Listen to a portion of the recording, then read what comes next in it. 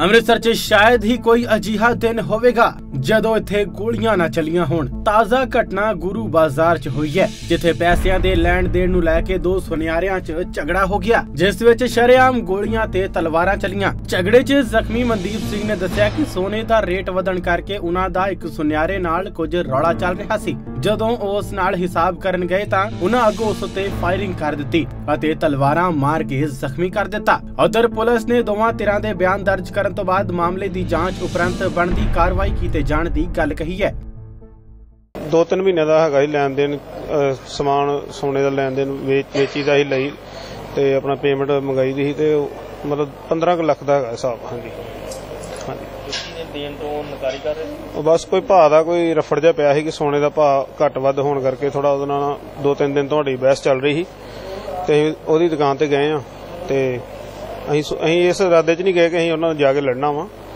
ਤੇ ਉੱਥੇ ਜਾ ਕੇ ਬਹਿਸ ਹੋਈ ਤੇ ਉਹਨੇ ਨਾਲ ਹੀ ਪਿਸਤੌਲ ਕੱਢੀ ਤੇ ਰਣਜੀਤ ਸਿੰਘ ਨੇ ਕਿਰਪਾਨ ਕੱਢੀ ਤੇ ਕਿਰਪਾਨ ਨਾਲ ਵਾਰ ਕੀਤੇ ਮੇਰੇ ਤੇ।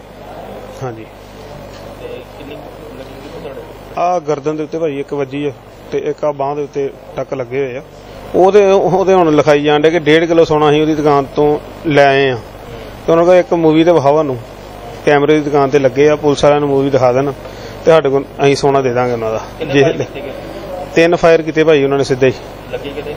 ਨਹੀਂ ਬਚਾਅ ਹੋ ਗਿਆ ਵਾ। ਝਗੜਾ ਹੋਇਆ ਸੀ ਕੋਈ ਕਾਠੀ ਵਾਲੇ ਬਾਜ਼ਾਰ 'ਚ। ਤੇ ਦੋਵਾਂ ਸੁਨਿਆਰਿਆਂ ਦਾ ਆਪਸ ਵਿੱਚ ਪੈਸੇ ਦਾ ਲੈਣ ਦੇਣ ਸੀ। ਉਹ ਤੋਂ ਇਹਨਾਂ ਦੇ ਝਗੜੇ ਦੀ ਤਲਾਹ ਮਿਲੀ ਸੀ। ਤੇ ਮੌਕੇ ਤੇ ਆਏ ਆ।